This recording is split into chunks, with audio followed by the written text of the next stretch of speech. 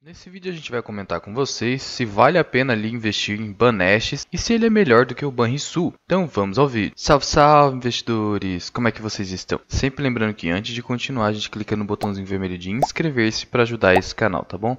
E se possível também me segue ali no Instagram, Mirainvest. E como esse foi um tema aqui pedido por alguns inscritos, vou trazer hoje ele aqui para vocês a respeito do Banestes, que é o Banco do Estado do Espírito Santo ali para quem não sabe, assim como o Banrisul é o Banco do Estado do Rio Grande Grande do Sul, bancos estatais, estaduais ali, que dominam cada estado ali. O Banestes ali, ele tem tanto ações ordinárias, BIES 3, quanto as preferenciais, finalzinho 4. É uma empresa estatal ali criada em 1937, controlada obviamente pelo Estado do Espírito Santo, sendo líder ali em rede bancária dentro do estado, sendo a única instituição financeira do estado que está presente em todos os municípios do Espírito Santo, detendo 860 pontos de atendimento, então domina realmente o estado. Apesar de criado em 1937, 1937, então já é um banco aqui com 85 anos, as ações ordinárias inicialmente passaram a ser negociadas ali na B3 em 1977 e as preferenciais apenas em 2008. De qualquer forma, já é um banco com quase 100 anos aí, então já tem tradição no estado, possui ali uma base de clientes bem ampla, mantendo relacionamento com quase 1,3 milhões de clientes, expandindo aí sua base no segmento pessoa física em 10,9% nos 12 meses e pessoa jurídica 1,5%. Então a gente percebe que o foco é pessoa física, assim como ocorre com o Banrisul, mais uma similaridade aqui. A carteira de crédito, assim como a maioria das instituições financeiras tem crescido, cresceu 17,3% em relação a 2020, na comparação com 2021. O patrimônio líquido do banco cresceu, atingindo 1,9 bilhão de reais, cresceu 10,3% em relação a 2020, na comparação com 2021. E em relação aqui à composição acionária, o Estado do Espírito Santo concentra grande parte das ações, 92,45% de ONs e 92,13% de PN. No total, uma média de 92 2,37, sobrando apenas 7,63% de ações em livre negociação no mercado, ou seja, com free float. E o Banestes ainda tem as operações de seguros, de distribuição de títulos e valores imobiliários e também a corretora do Banestes. E por conta desse free float bem pequenininho, o banco não tem liquidez, né? Então as ações ordinárias têm uma liquidez média diária de apenas 188 mil reais e as preferenciais apenas 38 mil reais. O Banestes, junto com o Banco Itaú e o Banco Bradesco, são os três bancos aí da Bolsa de Valores que pagam dividendos mensais mensais, ou melhor, JCPzinhos ali mensais, de 2 centavos por ação. E esse aqui é o cronograma do Banestes de 2022, então ele paga de janeiro a dezembro, um JCPzinho ali de 2 centavos por ação, totalizando 24 centavos por ação. Só que esse não é o dividendo total do banco. O banco também paga dividendos intermediários ali no meio, como recentemente ali ó, publicou um dividendo intermediário de 57 milhões de reais, um total aí de 18 centavos por ação, tanto ordinária quanto preferencial. Segundo o estatuto ali da companhia, esse dividendo